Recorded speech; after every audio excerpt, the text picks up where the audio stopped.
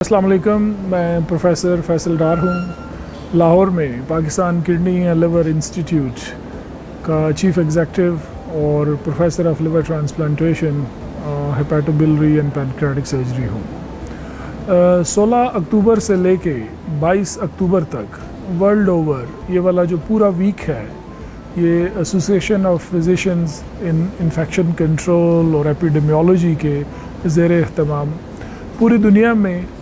Infections के बारे में और उनकी प्रिवेंशन के बारे में अवेयरनेस क्रिएट करने के लिए सेलिब्रेट किया जा रहा है। और जो इन्फेक्शंस हैं it is a kind of a global epidemic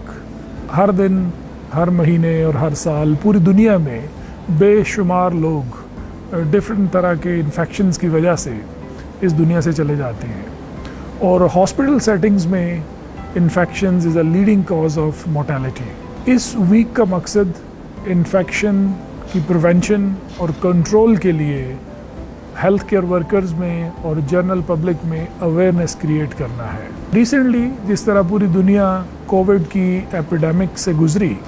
तो आई थिंक इससे पूरी दुनिया में एक सेंसिटाइजेशन अबाउट इन्फेक्शन कंट्रोल तो ऑलरेडी हो चुकी है। But we just need to carry on this message and the practice के जो इन्फेक्शंस हैं, ये लीडिंग कॉज ऑफ़ डेथ हैं in the hospital settings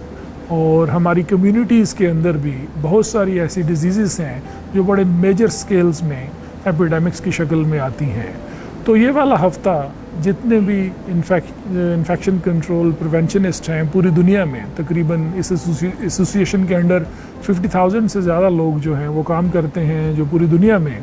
infections के कंट्रोल और प्रिवेंशन की अवेयरनेस क्रिएट करते हैं। This is an effort to say our unity with association ताकि हम ये पैगाम घर घर अपने मोहल्लों में, अपने सोसाइटीज़ में लोगों को सेंसिटाइज करें कि इन्फेक्शन से बचने के लिए कौन से इकदाम किए जा सकते हैं। As you know prevention is better than cure और इन्फेक्शन में बड़ी सिंपल और बेसिक चीज़ें like hand hygiene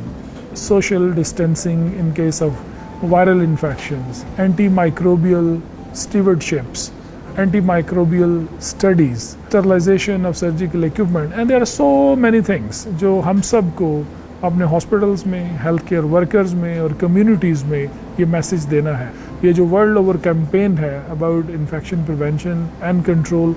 ये जनरल पब्लिक में बहुत ज़्यादा अवेयरनेस क्रिएट करेगी and with this we can help out to eradicate infections from the hospital environment. My all the blessings and best wishes for all those who has been working to eradicate infections from the world. Have a good day.